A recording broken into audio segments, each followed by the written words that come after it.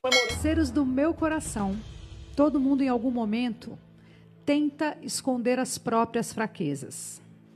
Às vezes, a gente assume uma postura mais dura. Em outros momentos, a gente finge uma calma que também não existe, ou então a gente tenta demonstrar uma força que nem sempre a gente tem. É uma reação absolutamente normal, humana. Mas esses escudos, eles podem ficar pesados demais e eles podem cair. E é justamente nessa hora que nós ficamos mais desprotegidos e mais vulneráveis. Quando isso acontece, a tendência é nos afastarmos daquilo que causa medo.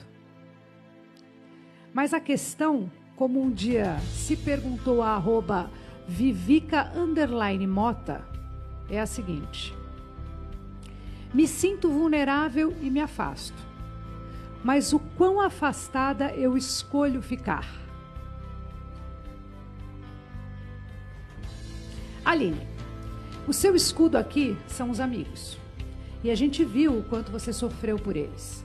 A saída da amiga, o descontrole do amigo, o seu choro deixou claro que você sabe bem o peso de carregar esse escudo.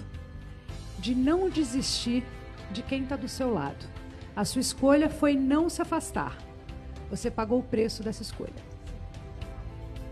Gui, você chegou cheio de vontade de jogar e continua mostrando isso discordou das atitudes de muita gente e isso talvez tenha te trazido até aqui.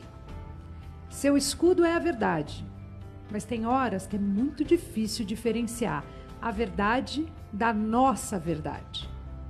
Às vezes a gente precisa se afastar um pouco para conseguir ver o todo. Victor, você parece a própria imagem da calma.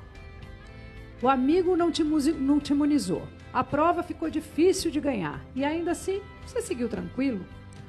Mas esse escudo da calma às vezes cai também. E a gente viu. A gente viu. Ou se a gente viu o que acontece quando esse escudo cai. E tudo bem, Victor.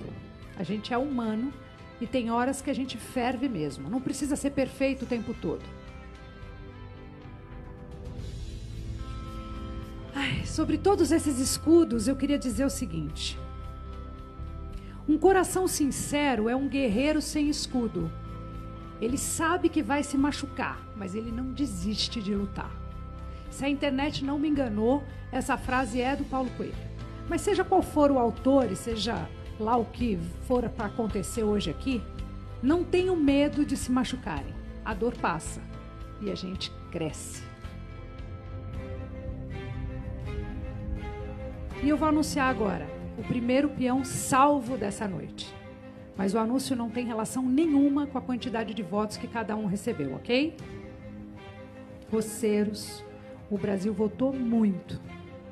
E o primeiro peão que continua na Fazenda 13, tendo a chance de voltar lá e chegar mais perto de um milhão e meio de reais, ou melhor, a peoa. É você, Aline! Obrigada.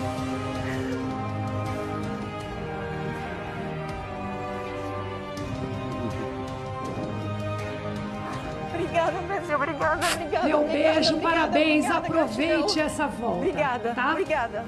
Obrigada.